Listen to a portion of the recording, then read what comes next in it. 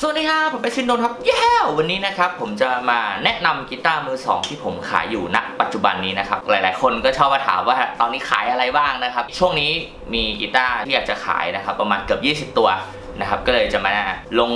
รุ่นนะครับ แล้วก็ดูหน้าตากันนะครับ ก็ส่วนใครสนใจนะครับ อยากขอรูปเพิ่มเติม หรือว่าจะคุยรายละเอียดเนี่ยก็ inbox กันมาได้นะครับ ผมเดี๋ยวมาเริ่มกันที่ตัวแรกนะครับ อันนี้จะไม่เรียงตามราคานะครับ อันนี้เพราะว่ากีตาร์มีการเข้าๆออกๆเรื่อยๆนะครับก็เลยไม่ได้ไม่ได้ทำการเรียงราคาไว้โอเคเดี๋ยวมาเริ่มกันเลยที่ตัวแรกนะฮะอันนี้นะครับอันนี้เป็นกีตาร์ Gibson Flying V Flat นะครับผมนะครับก็คือเป็นรุ่นสีด้านนะครับ นะฮะเป็นสีไม้สีด้านนะครับ อันนี้เป็นนี้เลยอ่าโอเค อันนี้ก็อันนี้โมมานะครับ ก็ติดบิ๊กบี้นะฮะไว้โยกขำๆนะฮะเรื่องราคาเนี่ยเดี๋ยวผมจะลงรายละเอียดไว้ใต้คลิปแล้วกัน เพราะว่าราคาอาจจะมีการเปลี่ยนแปลงอยู่เรื่อยๆนะครับผมอะตัวนี้นะครับตัวนี้น่าจะแพงสุดแล้ว Gibson Flying V Flat นะครับติด Pick Up Bigsby นะครับผม ต่อมานะครับเป็น Epiphone Sheraton 2 นะครับ อันนี้เป็นสี Sunburst สวยมากนะครับสเปคค่อนข้างดีเลยนะครับ เพราะว่าเป็นรุ่นเขาเรียกว่ารุ่นสูงของ Epiphone เลยนะครับ อันนี้นะครับ อันนี้สวยเลยอันนี้สี Sunburst binding ก็เป็นเป็น block block นะครับผมแล้วก็มี binding ยาวไปถึงหัวเลยนะครับ ค่อนข้างสวยมากนะครับ ตัวนี้นี่นะครับนะฮะเสียวเลยนะฮะ สำหรับคนที่ชอบสไตล์ semi hollow ตัวนี้ผมว่าดีเลย ผมลองผมรู้สึกว่าผมชอบเลยครับตัวนี้ อะ โอเคนะครับ อะ ต่อมาเป็น Barracuda signature พี่ต้น December นะครับ อันนี้เป็นลายสีลายไฟสีแดงค่อนข้างจะดูโหดนะฮะ สวยมากนะครับโหรับรองว่าถ้าเอาไปเล่น gig แนว metal เนี่ย ผมว่าน่าจะเท่มาก ๆ เลยนะครับ ตัวนี้นะครับผม โอเค อ่า ต่อมานะครับเป็น Schecter C1 Classic นะครับลาย flame หรือว่าบางคนเรียกว่าลาย quilt นะครับผมก็ไม่แน่ใจค่อนข้างสวยมากเลยนะครับ สีแดงสดนะครับนี่ปิกอัพแล้ว inlay นะฮะ inlay เป็นรูปเหมือนเถาวัลย์นะฮะโอ้โห ดูมีสง่าราศีสุดๆฮะนี่ตัวนี้เลย Schecter C1 Classic นะครับ สีแดง นี่ นะครับผม อะโอเค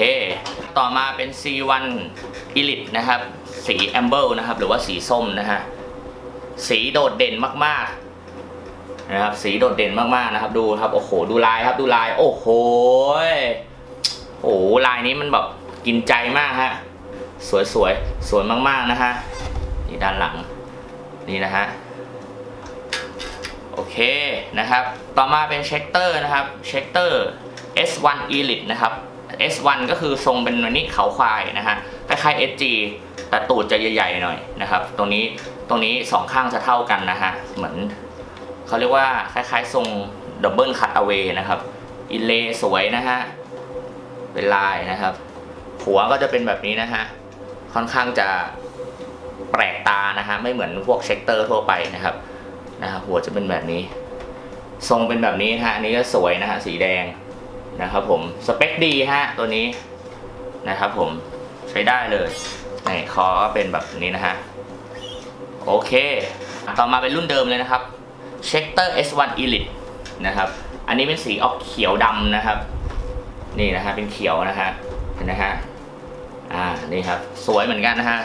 ไม่แพ้ตัวเมื่อกี้เลยนะครับเผื่อใครชอบแบบทะมึนทะมึนหน่อยร็อกๆหน่อยนะครับ น่าจะชอบกันนะฮะสีเขียวๆ โอเค นี่นะฮะ โอเค อะ ต่อมานะครับเป็น Epiphone นะครับ Les Paul Custom Signature คุณ z y นะครับ อันนี้เป็นสีคาโมนะฮะสีคาโมก็คือลายทหารนะฮะ เป็นคอขาวนะครับผม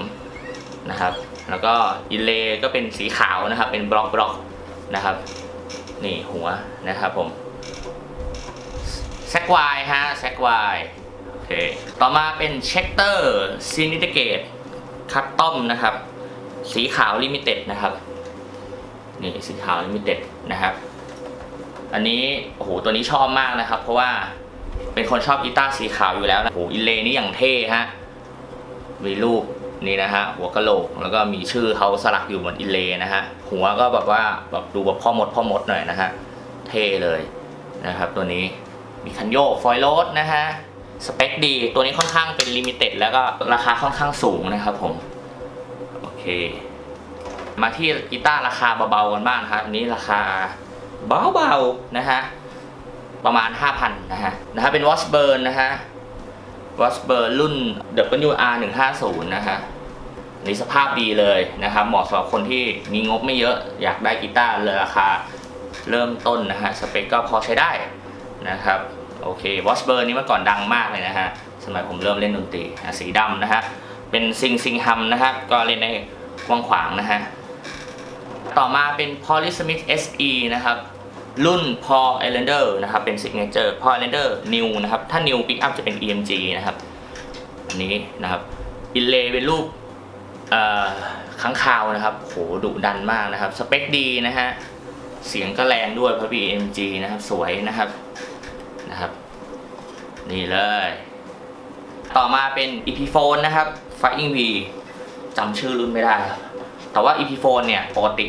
นะครับทรง Flying V นี่ก็หายากนะครับ ตัวนี้ก็ค่อนข้างเป็น standard ของ Flying V เลยนะครับ EP4 นะฮะ EP4 Flying V นะครับผมนี่ต่อมาเป็น Yamaha รุ่น ERG 121C นะครับ สีน้ำเงินม่วง คือปกติรุ่นเนี้ยถ้าเราเห็นเห็นกันบ่อยๆมันจะเป็นสีดำครับ สีม่วงเนี่ยหายากมาก เอาจริงๆผมแทบไม่เคยเห็นเลยนะ ดูดูสีครับโอ้โหม่วงแบบม่วงแบบม่วงเลย ม่วงน้ำเงินเลยสวยมาก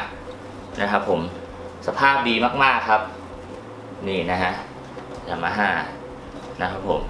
ตัวนี้ก็ราคาเบาๆครับประมาณ 5 6พันนะครับผม ต่อมานะครับเป็น Epiphone Les Paul Custom